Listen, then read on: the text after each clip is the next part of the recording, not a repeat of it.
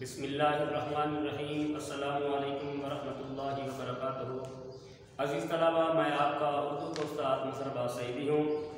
کل ہم نے نظم پڑھی تھی، اس کے پہلے تین اشعار کی تشریح کی تھی، اس کے ساتھ ساتھ ہم نے مختصر سوالات کے جوابات بھی لکھوائے تھے۔ عزیز طلبہ، آج ہم کریں گے آگے جو اشعر نمبر چار، پانچ، چھ اور سات، اس کے مشکل الفاظ کے معنی اور اشعار کی تشریح۔ اس کے بعد مشقی سوالات ہوں گے سوال نمبر دو، تین اور چار۔ یہ ہم کتاب کے اوپر کریں گے۔ عزیز طلبہ آپ کتاب کھولیں۔ ساتھ ساتھ ریڈنگ کرتے جاؤں گا۔ اس کے مشکل الفاظ بھی بتاتے جاؤں گا۔ آپ لوگ کتاب کے اوپر لکھتے جائیں۔ شعر نمبر چار نکالیں کہ تم جو آپس میں لڑو گے تم جو آپس میں لڑو گے تو بکھر جاؤ گے ملک ہی جب نہ رہے گا تو کدھر جاؤ گے؟ مشکل فاظ کے معنی بکھر جانا، منتشر ہو جانا، پھیل جانا، ادھر ادھر ہو جانا۔ اس کی تشریح ہے کہ شاعر آپس میں محبت کا درس دیتے ہوئے کہتا ہے کہ شاعر جو ہے، اس شعر کے اندر آپس میں محبت کے ساتھ رہنے سہنے کا درس دیتا ہے۔ کہتا ہے کہ سب مسلمان آپس میں بھائی بھائی ہیں۔ بھائیوں کو آپس ہی میں نہیں لڑنا چاہیے۔ اگر تم اسی طرح آپس میں لڑتے رہے، تو ایک دن ایک دوسرے سے الگ ہو جاؤ گے۔ یعنی اگر آپس میں اتحاد اتفاق اور محبت نہیں رہے گی، آپ لڑتے جھگڑتے رہیں گے۔ تو ایک دن ایسا ہوگا کہ آپ لوگ الگ الگ ہو جاؤ گے اور ہر کوئی تمہیں آسانی سے ریز کرے گا۔ اس طرح دوسرے لوگ ملک پر قبضہ جما لیں گے کہ جب آپ منتشر ہو جائیں گے، پھیل جائیں گے، تو دوسرے لوگ ملک کے اوپر آ کر قبضہ کر لیں گے۔ اگر ملک نہ رہے گا، تو تمہارا وجود ختم ہو جائے گا۔ یعنی جس ملک کے ہم باسی ہیں، جس ملک کے اندر ہم زندگی گزارتے ہیں، اگر یہ ملک نہیں رہے گا، تو ہمارا نام و نشان بھی ختم ہو جائے گا۔ کیونکہ تو ہماری پہچان ہمارے ملک کی ہی بدولت ہے۔ اگلا شعر ہے، قوم و ملت کی نرسوائی کا سامان بنو، ساری دنیا کے لیے پہچان پیار کی پہچان بنو۔ ملت قوم، فرقہ، ملت کا معنی قوم ہے، فرقہ ہے، رسوائی، بدنامی۔ تشریح شاعر کہتا ہے کہ اگر تم آپس میں جھگڑتے رہو تو اس ملک کی بدنامی ہوگی۔ سارے دنیا کے لوگ یہی کہیں گے کہ مسلمان آپس میں لڑنے والی قوم ہے۔ ان کے اندر، آپس کے اندر کوئی اتفاق اور اتحاد نہیں ہے۔ اس طرح پوری دنیا میں ہماری بدنامی ہوگی، اس لیے ضروری ہے کہ آپس میں پیار اور محبت سے رہو گے تاکہ تمہاری لوگ پہچان اچھے کاموں سے کریں۔ یعنی جب ہم محبت سے رہیں گے تو ہماری پہچان اس آپس میں اتحاد اور اتفاق سے ہوگی۔ ساری دنیا میں یہی مشہور ہونا چاہیے کہ پاکستانی قوم ایک بہادر، دلیر اور متحد قوم ہے۔ اس چیز کی پہچان کروانی چاہیے۔ اگلا شعر شعر نمبر چھ، ایک ہم سب کا خدا، ایک ہمارا ہے رسول۔ رنجش بھول کے اپناؤ محبت کے اصول۔ رنجش، دکھ، تکلیف، بگاڑ، اپنانا، اپنا بنانا۔ اصول، طریقہ۔ شاعر محبت اور اخوت اور بھائی چارے کا درد دیتے ہوئے کہتا ہے کہ ہم سب مسلمان ہیں۔ سب مسلمان ایک اللہ کو مانتے ہیں اور ایک نبی پر ایمان رکھتے ہیں۔ اس طرح سب مسلمان آپس میں بھائی بھائی ہیں، اگر ہمارا اللہ اور ہمارا رسول ایک ہے تو ہمیں آپس میں نہیں لڑنا چاہیے، بلکہ آپس کی لڑائیاں بھلا کر محبت کے اصول کو اپنانا چاہیے اور ایک دوسرے سے محبت کرنی چاہیے۔ اسی میں ہماری بھلائی ہے۔ اگلا شعر ہے، ایک ہی باغ کے پھولوں کی طرح کھل کے رہو، ایک تسبیح کے دانوں کی طرح مل کے رہو۔ تسبیح سو دانوں والا مالا جو ایک لڑی میں پروئی گئی ہو۔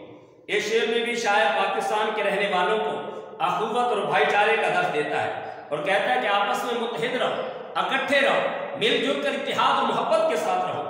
اسی طرح جس طرح ایک لڑی میں پروہے تسبیح کے دانے یعنی تسبیح کے دانے جو ہے، آپس میں ملے ہوتے ہیں، جڑے ہوتے ہیں، تو شاعر کہتا ہے کہ جو پاکستانی مسلمان ہیں، وہ بھی آپس کے اندر اسی طرح محبت اور اتفاق سے رہیں۔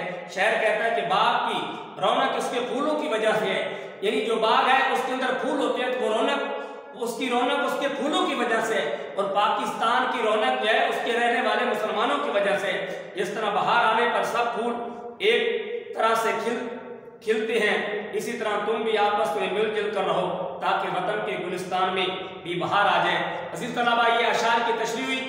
اس کے بعد سوالات کے جوابات، سوال نمبر دو، سوال نمبر تین اور چار۔ کتاب نکالیں اور کتاب کے اوپر حل کرتے ہیں۔ سوال نمبر دو ہے ایم سی کیوز کا۔ ایم سی کیوز نظم مل کر رہو کے مطابق درست جواب کی نشاندہی کرے۔ اس چمن کو حاصل کرتے ہوئے ہزاروں اجڑے ہیں۔ سہاگ گھر، باغ، پھول۔ اس کا درست جواب ہے پھول۔ ہمیں دنیا کے لیے پہچان بننا چاہیے۔ محبت کی، عزت کی، پیار کی، وقار کی۔ درست جواب ہے پیار کی۔ ہمیں اصول اپنانے چاہیے۔ محبت کے، الفت کے، پیار کے احتماد کے۔ اس کا درست جواب ہے محبت کے۔ اس چمن کو برباد نہ کرو، اپنے ہاتھوں سے، اپنی لڑائی سے بد امنی سے، بے ایمانی سے۔ اور اس کا جو درست جواب ہے، اس پہ نشان لگائیں اپنے ہاتھوں سے۔ ہمیں انسان بننا چاہیے جس پر۔ قوم کو، قوم ناز کرے، اللہ تعالیٰ ناز کرے، دنیا ناز کرے، ملت ناز کرے۔ اس کا درست جواب ہے، اللہ تعالیٰ ناز کرے۔ ہمیں اپنے آبا کی طرح بننا چاہیے۔ صاحب قوت صاحب قرآن، صاحب ایمان یا صاحب وقار۔ اس کا درست جواب ہے صاحب ایمان۔ اپنی قوم و ملت کے لیے ہمیں نہیں بننا چاہیے۔ بد کا سامان، جدائی کا سامان، ذلت کا سامان یا رسوائی کا سامان۔ اور اس کا درست جواب ہے رسوائی کا سامان۔ اور سوال نمبر تین، درجہ الفاظ کو تل، کا تلفظ عراق کی مدد سے بحث کریں۔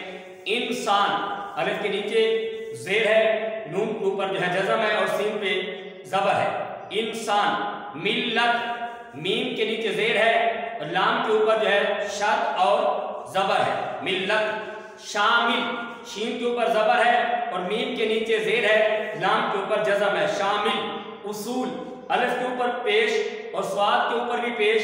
وو پہ جزم اور لام ساکت۔ اصول، لہو، لام کے اوپر زبر ہے اور ہا ہا کے اوپر پیش ہے۔ وہ ساکن ہے۔ چمن چے کے اوپر زبر اور میم کے اوپر بھی زبر۔ نون ساکن ہے، محبت میم پہ زبر اور ہا پہ بھی زبر۔ با کے اوپر جو ہے شد اور زبر ہے، محبت۔ اور تا جو ہے وہ اس کے اوپر جزم ہے۔ تسبیح تسبیح تے کے اوپر جو ہے زبر ہے، سین کے اوپر جزم ہے۔ تس، بے کے نیچے زیر اور یہ کے نیچے بھی زیر ہے۔ تسبیح۔